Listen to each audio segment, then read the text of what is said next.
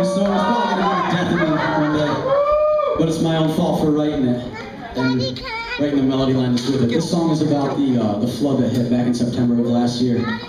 and it's about a particular someone who who's being looted, and they wrote on a sign, "Our despair is not your profit," and that inspired me to write this song.